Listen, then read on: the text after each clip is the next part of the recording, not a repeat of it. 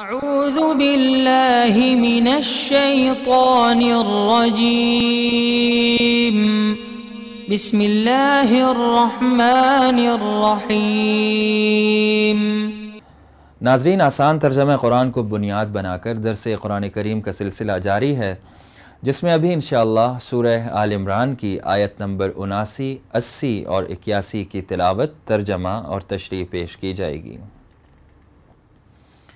أعوذ باللہ من الشیطان الرجیم بسم اللہ الرحمن الرحیم ما كان لبشر أن يؤتيه الله الكتاب والحكم والنبوة ثم يقول للناس كونوا ثم يقول للناس كونوا عبادا لي من دون الله ولكن كونوا ربانيين بما كنتم تعلمون الكتاب بما كنتم تعلمون الكتاب وبما كنتم تدرسون ولا يأمركم أن تتخذوا الملائكة والنبيين أربابا أيأمركم بالكفر بعد إذ أنتم مسلمون وإذ أخذ الله ميثاق النبيين لما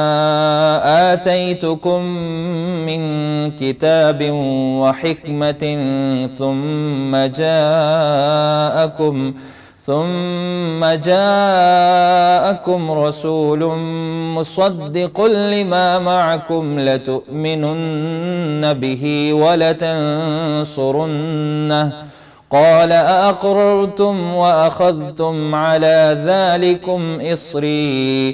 قالوا أقررنا. قال فاشهدوا وأنا معكم من الشاهدين.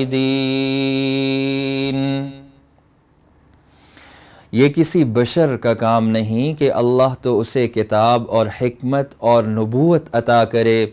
اور وہ اس کے باوجود لوگوں سے کہے کہ اللہ کو چھوڑ کر میرے بندے بن جاؤ۔ اس کے بجائے وہ تو یہی کہے گا کہ اللہ والے بن جاؤ۔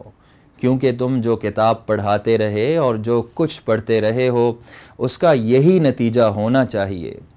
اور نہ وہ تمہیں یہ حکم دے سکتا ہے کہ فرشتوں اور پیغمبروں کو خدا قرار دے دو۔ جب تم مسلمان ہو چکے، تو کیا اس کے بعد وہ تمہیں کفر اختیار کرنے کا حکم دے گا؟ اور ان کو وہ وقت یاد دلاؤ جب اللہ نے پیغمبروں سے عہد لیا تھا کہ اگر میں تم کو کتاب اور حکمت عطا کروں، پھر تمہارے پاس کوئی رسول آئے جو اس کتاب کی تصدیق کرے جو تمہارے پاس ہے، تو تم اس پر ضرور ایمان لاؤ گے اور ضرور اس کی مدد کرو گے۔ اللہ نے ان پیغمبروں سے کہا تھا کہ کیا تم اس بات کا اقرار کرتے ہو اور میری طرف سے دی ہوئی یہ ذمہ داری اٹھاتے ہو؟